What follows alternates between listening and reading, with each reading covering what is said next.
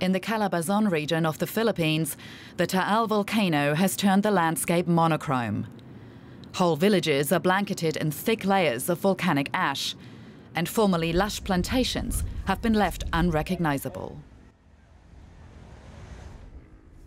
Jack Imperial has farmed pineapple for 17 years.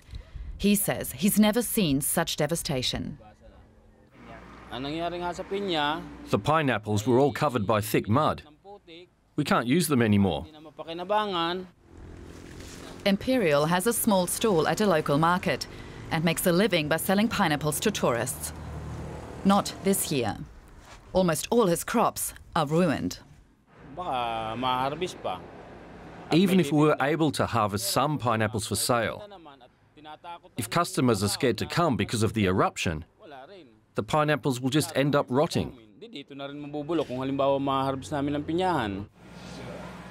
An estimated 3,000 hectares of land has been affected by ashfall in Calabarzon, and the agricultural damage has already exceeded 10 million euros.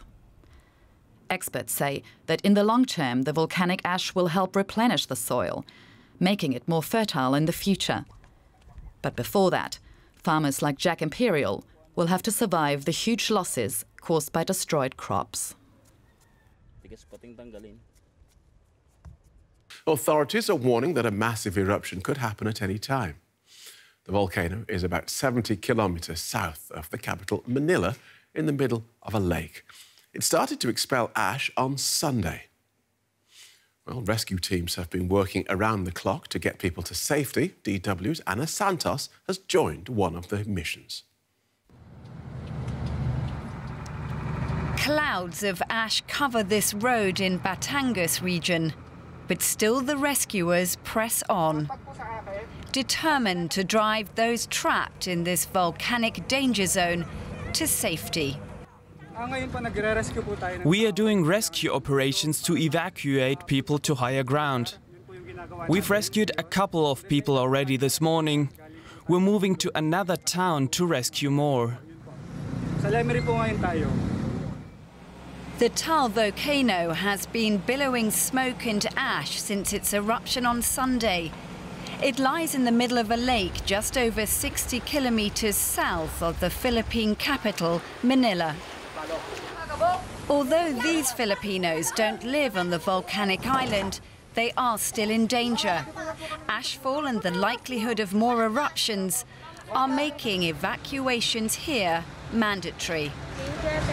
Others, like Claire and her sisters, are choosing to get out while they can. We decided to evacuate today because we heard that things may get worse with the volcano. The safest thing to do is to leave. Some areas are too difficult to reach by truck, so these rescuers use motorbikes to collect the locals.